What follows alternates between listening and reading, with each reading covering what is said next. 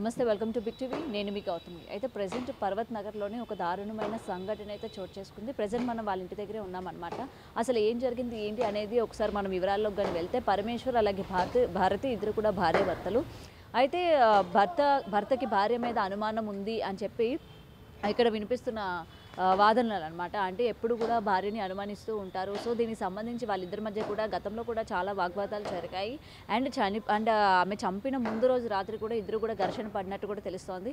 అయితే ఇలా కాదు అని చెప్పి భర్తని ఉరివేసి చంపినట్టు కూడా తెలుస్తోంది. అండ్ చార్జర్ వైర్ ఏదైతే ఉంటుందో ఆ యొక్క వైర్తోని కొడుకు యొక్క సహాయం తీసుకొని అండ్ ఆ కొడుకు కూడా పదిహేను ఏళ్ళు అన్న విషయం కూడా తెలుస్తుంది. అంటే భారతి అలాగే పరమేశ్వర్కి పాప బాబు అన్నట్టు కూడా తెలుస్తుంది అనమాట సో బాబు సహాయం తీసుకొని ఆ భారతి ఏంటంటే హస్బెండ్ని చార్జర్ వైర్తోని ఉరివేసి చంపినట్టు కూడా తెలుస్తోంది. అయితే ఈ సంఘటన చూసిన కూతురు ఎవరైతే ఉన్నారో వెంటనే కూడా బంధువులకి ఫోన్ చేసి చెప్పడం కూడా తెలిసిందనమాట. అంటే అసలు ఏం జరిగింది ఏంటి నాన్నకి ఏం జరిగింది అని వివరాలు అడిగేసరికి ఏంటంటే భార్య కవర్ చేయడానికి ఆయనకి ఏదో హెల్త్ ఇష్యూ వచ్చి హాస్పిటల్కి తీసుకెళ్తున్నట్టు సీన్ క్రియేట్ చేయడం కూడా ఇక్కడ తెలుస్తుంది అనమాట సో ఇది ఇదంతా కూడా ఆ అమ్మాయి వెంటనే బంధువులకి ఇన్ఫామ్ చేయడం కూడా జరిగింది.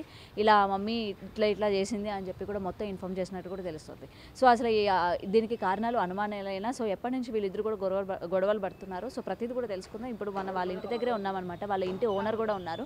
సో వాళ్ళు ఇక్కడికి వచ్చి ఎన్ని ఇయర్స్ అవుతుంది? సో ఎప్పటి నుంచి వీళ్ళు ఇక్కడ ఉంటున్నారు? అండ్ గొడవలు ఏమైనా సరే వీళ్ళు ఎప్పుడైనా విన్నారా? లేకపోతే చూసారా? సో ఈ ఘటన కూడా ఏ టైంలో జరిగిందన్న వివరాలు కూడా తెలుసుకుందాం. అమ్మ మీ పేరు? సుభద్ర. సుభద్ర. ఓకే. మీరేనమ్మా? ఇంటి ఓనరు. ఎన్నాళ్ళ నుంచి ఉంటున్నారు వాళ్ళు? రెండు నెలలు అవుతుంది రెండు నెలలే అవుతుంది. ఎప్పుడైనా సరే ఇద్దరు గొడవ పడ్డం కానీ ఏమీ తెలియదు అసలు బాగుంటారు. ఆయన కూడా మంచి డ్రైవర్ మంచి జాబు.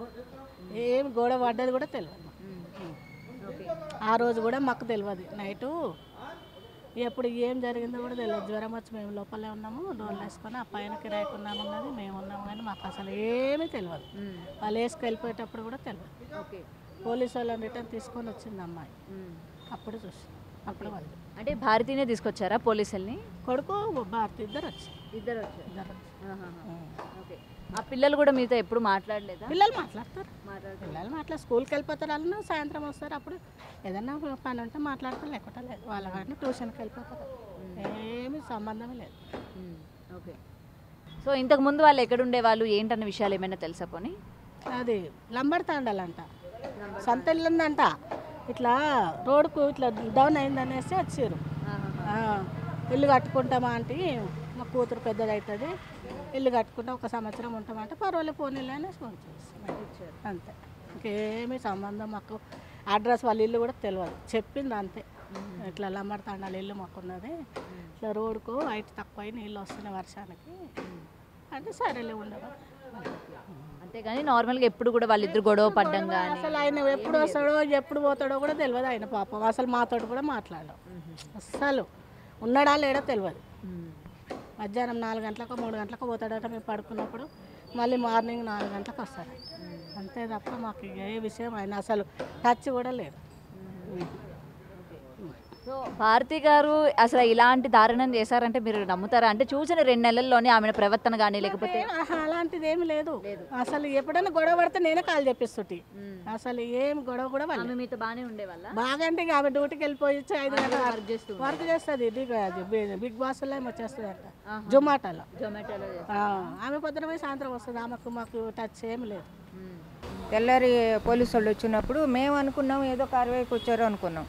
ఆ, తెలియనే తెలియదు మాకు అస్సలు తెలియదు ఇంటి ముంగలు ఉన్నాం ఆ రాత్రికి మాకు ఈ రేకులు పడిపోయినాయి. అటు వెళ్ళిపోయినాం. మా కోడలు వాళ్ళ ఇంటికి. తెలియదు. తెలియదు. అసలు ఏం జరిగిందో తెలియదు అమ్మ నేను చూడలేదమ్మా. అస్సలు నేను పొద్దున పోతే గుడికి పోతాను. సాయంకాలం మధ్యాహ్నానికి వస్తే సాయంకాలానికి వస్తా.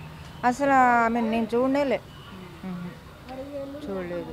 వాళ్ళు ఎవరు ఏందని కొద్ది రోజులే అదే ఒక రెండు నెలలు నూనె వాళ్ళు వచ్చింది కూడా నాకు తెలియదు నేను ఉండను ఇంట్లో.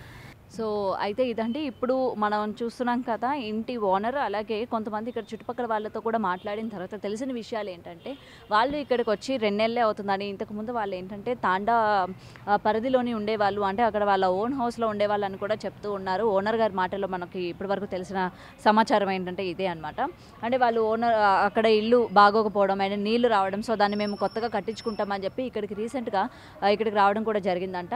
అండ్ ఎప్పుడూ కూడా వాళ్ళకి సంబంధించి గొడవలు కానీ లేకపోతే ఇలాగా అనుమానాస్పదంగా భా- భర్త భార్యను కొట్టడం కానీ సో ఇట్లాంటి ఇన్సిడెంట్స్ ఎప్పుడు కూడా మేము వినలేదు కనీసం చూడలేదు అనే విషయం కూడా ఇక్కడ ఇంటి ఓనర్ అలాగే చుట్టుపక్కల వాళ్ళు కూడా చెప్తూ ఉన్నారు. ఇంకొకటి మనకి ఇక్కడ తెలుస్తుంది ఏంటంటే భర్త ఎప్పుడు కూడా భార్యని హింసించేవాడు అంటే అనుమానం పెట్టేవాడు. అండ్ దీనికి సంబంధించి ఆమె ఆ, మాదాపూర్ తానా తానాలో కూడా ఏంటంటే పలుమార్లు ఆమె అక్కడ ఫిర్యాదు చేసినట్టు కూడా తెలుస్తోంది. అంటే మాదాపూర్కి సంబంధించి అక్కడ పోలీస్ స్టేషన్లో కూడా ఆమె ఫిర్యాదు చేసినట్టు కూడా తెలుస్తుంది భర్త పైన. అంటే ఇలాగ చేస్తున్నాడని లేకపోతే ఇలాగ కొడుతున్న విషయం కానీ ఆమె అక్కడ పోలీస్ స్టేషన్లో కంప్లైంట్ ఇచ్చినట్టు కూడా తెలుస్తుంది. అండ్ కంప్లైంట్ ఇచ్చిన తర్వాత కూడా ఈయన ఎప్పుడు కూడా వైఖరి మారు అంటే ఆయన యొక్క పద్ధతి తీరు కావచ్చు మార్చుకోకపోవడం కూడా ఇక్కడ మనకి ప్రధానంగా తెలుస్తుంది అనమాట సో ఇందుకు సంబంధించి ఇంకా అది తీవ్ర స్థాయిలోకి చేరడం కూడా ఇక్కడ వన్ ఆఫ్ ద రీజన్స్ అన్ని కూడా తెలుస్తోంది.